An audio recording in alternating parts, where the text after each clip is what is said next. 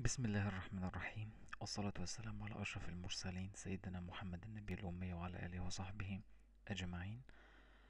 اللهم علمنا ما ينفعنا وانفعنا بما علمتنا إنك أنت العليم الحكيم. بين يديكم المهندس وجيه عباس. النهاردة بإذن الله حلقة الانترودكشن المقدمة الخاصة بأسطوانة تعليم برنامج Autodesk Revit Structure 2012-2012 سبق وشرحنا Autodesk Revit Architecture 2012 النهاردة بإذن الله نعمل مقدمة بسيطة عن برنامج Revit Structure. ما هو Revit Structure Revit Structure هو برنامج من ضمن برامج شركة Autodesk أكبر شركات تصميم البرامج الهندسية. آه البرنامج يعد من آه يعد إحدى برامج ال BIM أو ال Building Information Modeling. البرنامج من مميزاته بتاعته ال basic elements بتاعته إن هو يقدر يعمل لي importing استيراد لملفات الريفيت ملفات drawing من الأوتوكاد والشغل عليها. له القدرة على إضافة العناصر الإنشائية الأساسية من كمرات و trusses و slabs وبلاطات. له القدرة على إضافة التفاصيل الإنشائية كالتسليح وعمل modeling لها زي ما هنشوف. له القدرة على تحديد المنشأ وتحميله إضافة التحميل على المنشأ dead load و live load وأنواع الأحمال كلها وبعد كده يقدر يعمل لها تصدير على برنامج تحليل زي الروبوت مثلا. بيعمل لي creation لل sheetات وال scheduling يقدر يعمل لي حصر للكميات وللمواد اللي أنا شغال بيها وال elements اللي أنا شغال بيها. بيقدر يعمل لي create details بيقدر يطلع لي التفاصيل اللي أنا قلتها في صورة sheetات آه و views مختلفة. لو دخلنا على آه ال cycle أو دورة تصميم وتنفيذ أي منشأ ال building information modeling ما هو ال building information modeling هو ال BIM ال building information modeling هي المراحل دي كلها يا جماعة. إن أنا باخد لو مثلا عندي حتة الأرض فاضية خالص أوصل بيها ال BIM لحد ما أوديها لل owners أو المالك.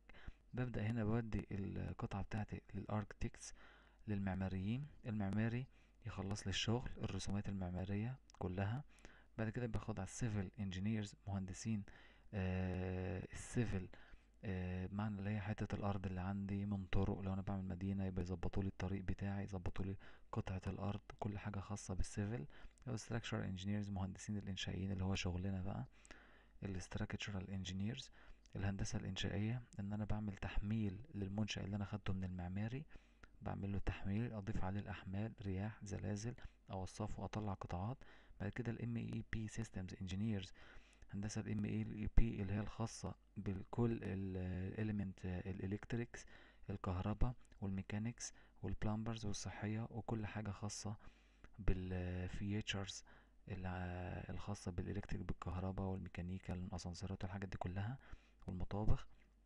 بعد كده بخش على البرنرز fabrication عملية التنفيذ عملية التنفيذ في الموقع بعد كده بسلم المنشأ اللي أنا استلمته لل owners وهو ده المقصود بال BIM يبقى اذا ال BIM عندي أدي تلاتة هما الخمس مراحل وفي الآخر أسلم المنشأ لل owner ده المقصود بال BIM لو دخلنا هنا شركة Autodesk يا جماعة آه بتتيح ليا جميع البرامج اللي أنا من أول ما أستلم المنشأ لحد التنفيذ. أقدر أعمل بال structure modeling الهيكلة الإنشائية وتحميل المنشأ.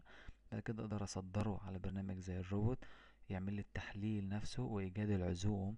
بعد كده أقدر أطلع لوحات آه بال fabrication drawings AutoCAD structural detailing التفاصيل الإنشائية وسبق شرحناها في برنامج. وده هنا البرامج الخاصة بالمعماري. المعماري يديلي يخش على الإنشائي.